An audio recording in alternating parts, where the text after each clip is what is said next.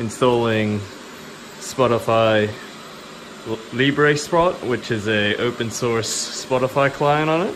So now it can function as a terrible quality speaker as well.